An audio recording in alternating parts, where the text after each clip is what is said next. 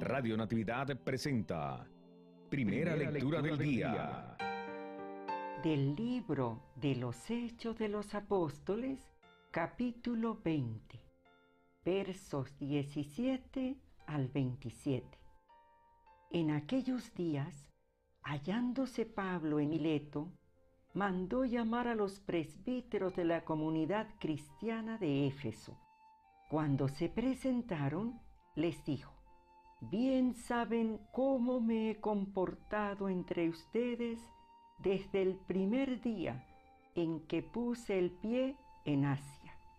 He servido al Señor con toda humildad, en medio de penas y tribulaciones que han venido sobre mí por las acechanzas de los judíos.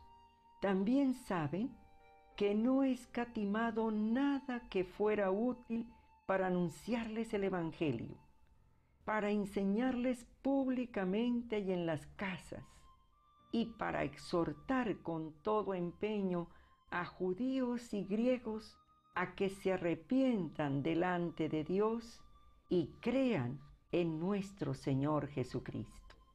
Ahora me dirijo a Jerusalén, encadenado en el Espíritu, sin saber qué sucederá allá. Solo sé que el Espíritu Santo en cada ciudad me anuncia que me aguardan cárceles y tribulaciones.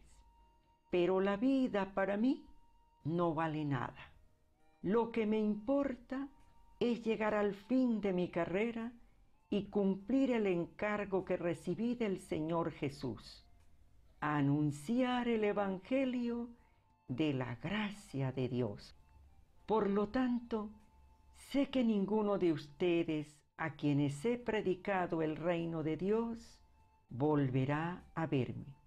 Por eso declaro hoy que no soy responsable de la suerte de nadie, porque no les he ocultado nada y les he revelado en su totalidad el plan de Dios palabra de Dios. Te alabamos, Señor.